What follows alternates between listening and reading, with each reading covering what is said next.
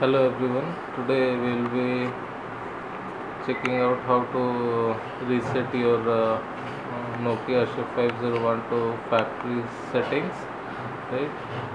It is very easy. You just need to go to settings and uh, there you will find the option of reset phone. Let's see where the settings are.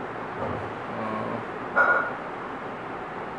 just browse to uh, settings. Here it is. As you can see here are so many options right? Flight mode and this. Here you will find the option of reset a phone right? You just need to press this uh, option and your phone will start uh, the process of resetting it to the factory settings right? Just click on this. It will be asked that uh, again to that uh, it will restore your phone to its original state. That is the factory state with all your data gone. So just click on this reset phone and it will again ask to confirm it.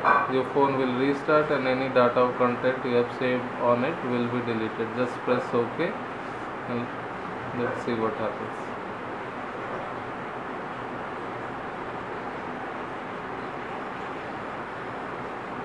the device has rebooted.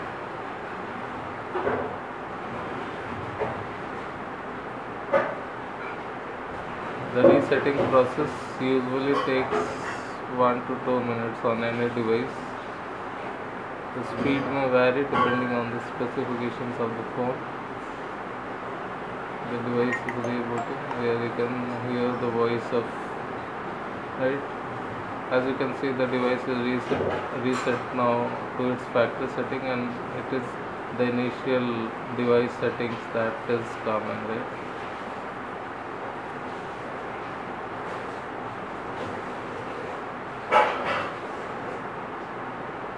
Your device is now booting back to the original state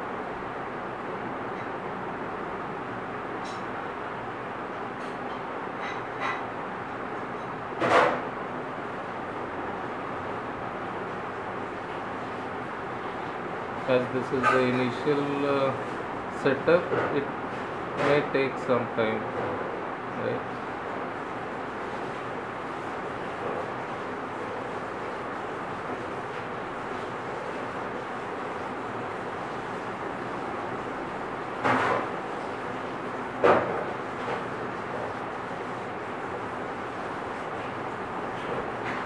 Yeah.